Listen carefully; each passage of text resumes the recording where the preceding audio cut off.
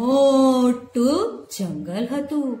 એમાં ઘણા બધા પ્રાણીઓ રહેતા હતા. વાઘ, સિંહ, હરણ, ચિત્તો. જંગલનો રાજા કોણ હોય છે ભાઈ? સિંહ. એક દિવસ સિંહ શિકાર કરીને ખૂબ થાકી ગયો હોય છે. એટલે એની ગુફા પાસે એક ઝાડની નીચે સૂઈ ગયો હોય છે. થોડી વારમાં ત્યાં બાજુમાં ઝાડ પાસે એક દર હતું. એ દરમાં રહેતા હતા ઉંદરભાઈ.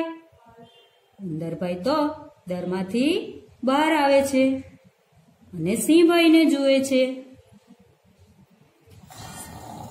સિંહને સૂતેલો જોઈને ઉંદરને તો સિંહની ઉપર દોડાદોડી કરવાનું મન થાય છે.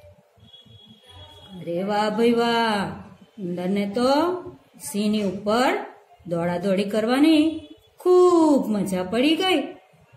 એ તો સિંહ પર આમ દોડે અને તેમ દોડે. આમ દોડે અને તેમ દોડે. થોડી વારમાં સિંહભાઈ જાગી જાય છે.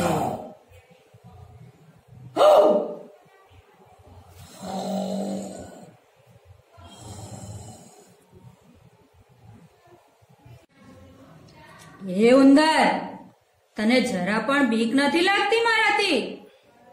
મારા ઉપર દોડાદોડી કરે છે તું. ના ના સિંહ રાજા સિંહ રાજા મને માફ કરી દો. હવે બીજી વાર હું આવું નહીં કરીશ.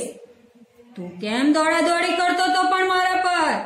પણ સિંહ રાજા હવે બીજી વાર આવું નહીં કરીશ. મને માફ કરી દો. જો ભવિષ્યમાં તમને જરૂર પડશે, તો હું તમને ચોક્કસ મદદ કરીશ. પણ આ વખતે મને જવા દો, મને માફ કરી દો. સારું સારું. પણ ધ્યાન રાખજે. હવે બીજી વાર આવું કરીશ નહીં. જા અહીંયાથી. ચાલ્યો જા. થોડા દિવસ પછી જંગલમાં એક શિકારી આવે છે. શિકારી તો શિકાર કરવા માટે ઝાડ પાથરી જાય છે. અને ધીમે ધીમે ત્યાં પેલા સિંહભાઈ ફરવા નીકળે છે. સિંહભાઈને ખબર નથી હોતી કે શિકારીએ ત્યાં ઝાડ પાથરી છે. એટલે સિંહ તો ઝાડમાં ફસાઈ જાય છે. સિંહ તો ઝાડમાંથી બહાર નીકળવા માટે જોર જોરથી ગર્જના કરે છે. એને ઝાડમાંથી બહાર નીકળવું છે. જોર જોરથી સિંહની ગર્જના સાંભળીને પેલા બાજુના દરમાં ઉંદરભાઈ રહેતા હતા ને, તે દોડતા દોડતા બહાર આવે છે અને જુએ છે તો સિંહભાઈ તો ઝાડમાં ફસાયેલા હોય છે. ઉંદરભાઈ પૂછે છે, સિંહભાઈ સિંહભાઈ, શું થયું?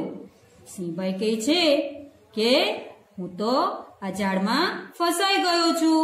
મને તમે આ ઝાડમાંથી મુક્ત કરો. ઉંદરભાઈ કહે છે, સિંહ રાજા સિંહ રાજા, તમે જરા પણ ચિંતા નહીં કરો. હું હમણાં જ મારા તીના તીના દાંત વડે આ આખી ઝાડ કાતરી કાઢું છું.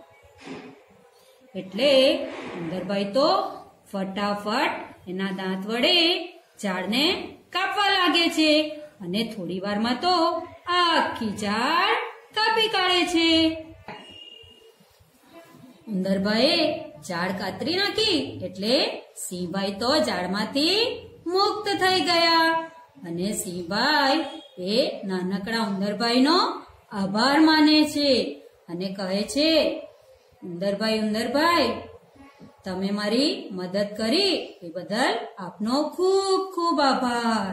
અને બંને જણા સિંહ અને ઉંદર મિત્ર બની જાય છે. આ વાર્તાનું નામ છે સિંહ અને ઉંદર.